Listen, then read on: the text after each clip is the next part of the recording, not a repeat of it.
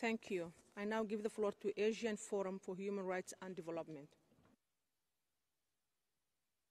President, Forum Asia makes a statement in solidarity with our member Think Centre. We note that Singapore has accepted the majority of the 324 recommendations it received.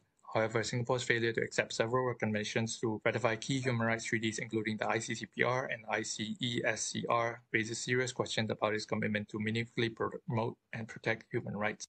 This has led to alarming expressions of discrimination, lack of basic minimum wage for the lowest paid workers, and the use of the capital punishment for drug related offenses. We regret that Singapore has rejected a number of recommendations to amend legislations on internal security, public order, protection from online falsehoods and manipulation, sedition, defamation, press and media, administration of justice, as well as sections of the Penal Code that impose broad and unlawful restrictions under international human rights law on freedoms of expression, peaceful assembly, and association. These laws have stifled dissent and curtailed access to information through trumped up criminal charges against journalists journalists, human rights defenders, and activists.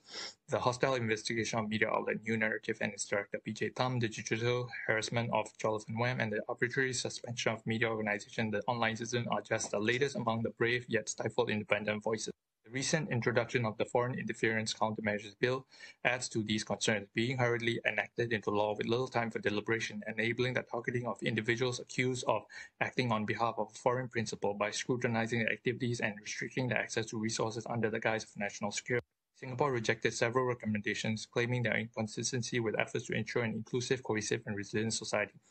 We remind Singapore that inclusive, Cohesive and resilient societies can only be built upon a strong foundation of respect for and guarantees of fundamental human rights and freedoms as enshrined in international human rights treaties.